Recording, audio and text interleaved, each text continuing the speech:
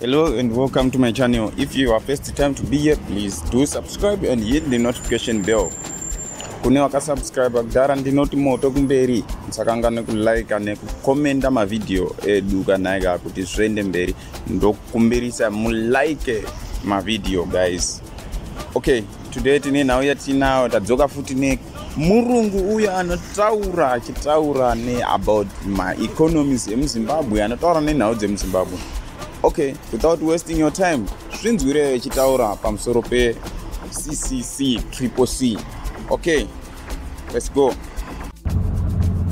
Varanda zimbabwe amuka sei hanzi abretiweyoka you need to address something youare always saying kuti triple c inofanirwa kudai ye opposition inofanirwa kudai zvinhu zvese zvaunotaura unotaura usimo muzimbabwe muno. Mudzoka kuzimbabwe uye uzotaura zvinhu izvozvo. Tiona kuti unoitwa sei. Look there's a big difference between being brave and being stupid. Those two things are not the same. Some people think they are. What purpose would it serve? Kuti inini ndidzoke kuzimbabwe? Ndonosungwa ndoswera ndiri two years mujeri pasina chandamboita what purpose does that serve? That would be stupid. Saka nyaya iri panapa ndeyekudai so vanhu vazhinji vari kuda vanonzi inonzi mastruggle credentials. So it's almost as if kana usati warohwa nemapurisa usati wasungwa usati waziva kuti matoilet ekuchikurubhi ari papi you cannot lead because you don't have struggle credentials. And those struggle credentials you have to be arrested and so forth and so on. Ah, ah, ah, ah, ah. no. Kana uchida kusungwa iwewe sungwa zvako? Kana uchida kutaura zvinhu zvakafanana nezvandinotaura inini uri muzimbabwe unosungwa? Thereis called the patriotic bill have you heard of it? Ndo nyaya iripo mazuva ano if you say anything against this junta you go to jail. That should be the first sign first sign. Dictatorship.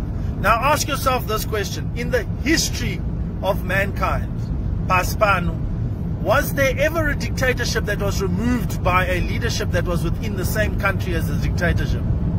Kune vaya vasinganyatsonzwisisa regai ndidai so.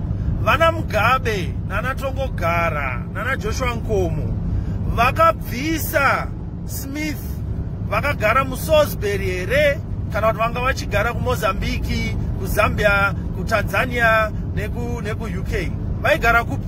Pavanga vachibvisa regime so ask yourself another question.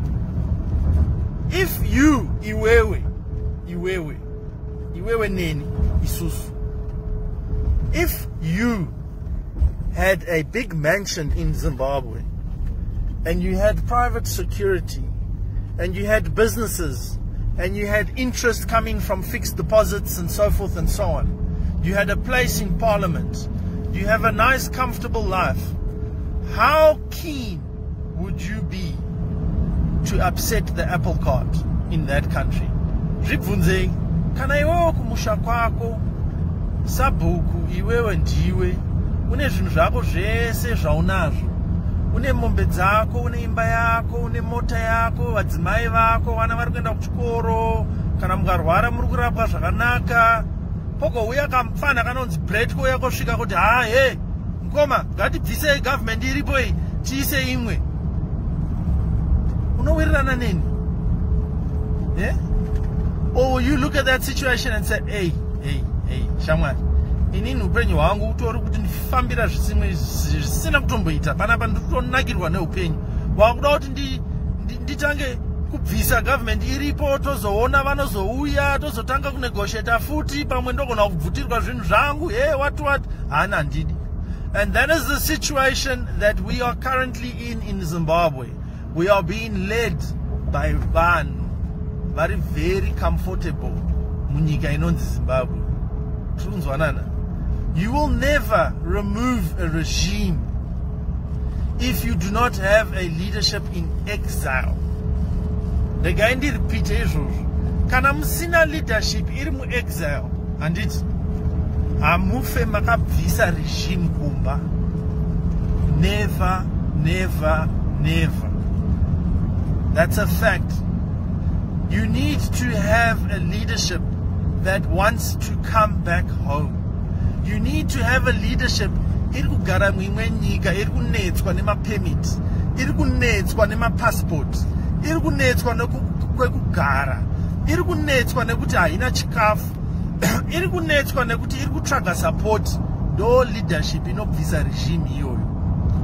Kwete leadership yakazvigarira mumba kuhighlands kana kuborotel ine, ine, ine, ine mota nhatu ine vakadzi t vana vari kudzidza musouth africa kana kuamerica kana kuuk uh, kana vakarwara vanokwira ndege voenda kusouth africa vanhu vakadaro havafe. They are not good freedom fighters. Please please varanda vezimbabwe please ndapota ndapota. Tarisai vanhu vamuri kuvhotera. Tarisai vanhu vamuri kuvhotera. Ini handitiudze munhu kwekuvhota ba. Aa haisi basa rangu. Inini ndinokupai mafacts patable mosarudza mega moita zuva rakanaka